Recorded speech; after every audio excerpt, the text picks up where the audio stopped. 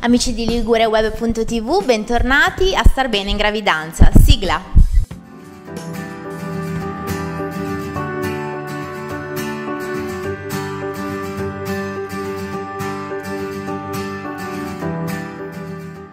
Sono qua di nuovo con la dottoressa Valentina Erone e la dottoressa Paola Lorenzi, psicologa e ginecologa. Grazie Leslie dell'invito. Sono non ve la sì. Buongiorno, Don Lorenzi, ginecologa. Puoi anche stare dritta perché... Ok.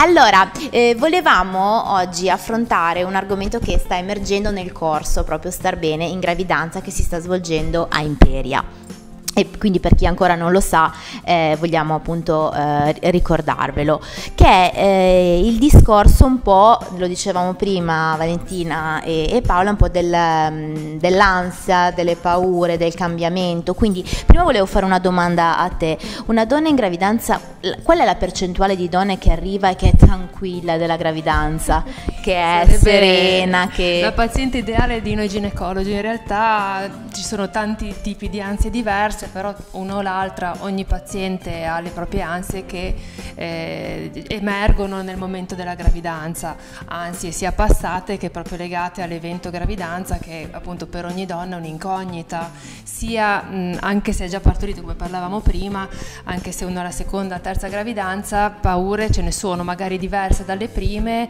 eh, però continuano ad esserci ansie di ogni genere legate alla gravidanza. Quindi dottoressa Irone, come possiamo uh, aiutare aiutare o dire qualche parola proprio a questo riguardo, riguardo all'ansia in gravidanza e alle paure? Che cosa può fare una donna? Allora, la prima cosa che mi viene è accettare, la seconda consapevolizzare. In che senso? Allora, l'ansia è un'emozione universale, naturale che proviamo tutti. E perché la proviamo in quel momento? Perché effettivamente siamo di fronte a una sorpresa, siamo di fronte a una trasformazione profonda, a un grande cambiamento, non solo personale, ma anche di ruolo, un cambiamento nella coppia, nella famiglia, nella società, immagino il lavoro, una serie di fattori. E quindi cos'è che ci spaventa? Un po' l'incognita di come sarà come andrà, come farò, ce la farò. E quindi tutte quelle domande che eh, ci fanno stare nell'incertezza.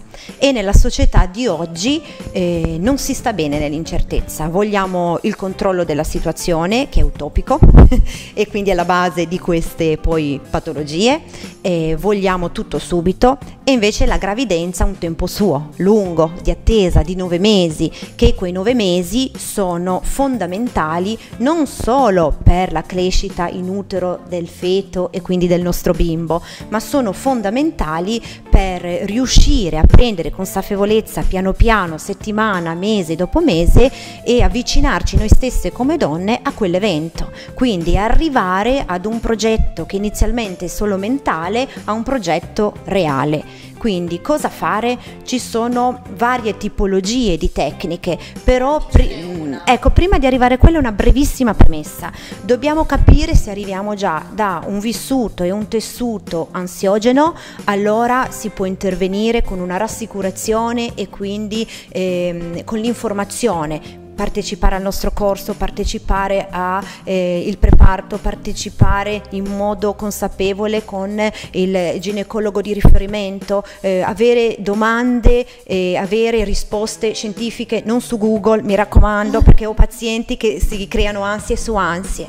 E il partner... È vero, no, rivolgetevi sempre a un professionista. Ma ho letto questo, ho letto quello, ho letto quello. Assolutamente. Il, il partner non dimentichiamolo perché ha un ruolo fondamentale il futuro papà, perché più noi viviamo in un clima sereno di accoglienza dove anche gli altri ci fanno una rete di sostegno e quindi immagino i genitori, i familiari, questo aiuta. Poi che fare? Eh, da, dedicarsi del tempo, prendersi del tempo per sé ecco. E quindi in che modo? Eh, non è una malattia la gravidanza, si può continuare a fare a meno che il medico non mh, mm, dia prescrizioni differenti, comunque sempre più rare è, è vero, pazienti per... che, che si devono fermare. Ecco appunto, quindi può fare tutto, quindi comunque eh, l'alimentazione, l'attività fisica, il respiro sono oh, molto utili delle tecniche di, risal- di mm, eh, rilassamento utilizzando le visualizzazioni. Tra l'altro facciamo fare proprio durante le serate, quindi va benissimo, serate e giornate, quindi bene. Non trascurare la vita sociale, le amiche, il lavoro, cioè continuare a fare una vita normale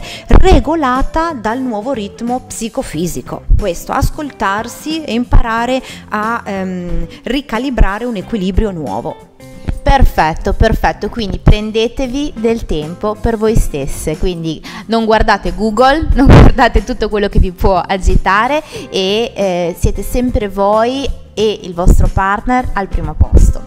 Vi ringraziamo, noi continuiamo con il corso Star Bene in Gravidanza, se volete indicazioni trovate tutto eh, qui in alto, io ringrazio nuovamente la dottoressa Lorenzi. e la dottoressa Grazie, grazie. E noi ci vediamo alla prossima puntata di Cambia Vita con Calma, un abbraccio.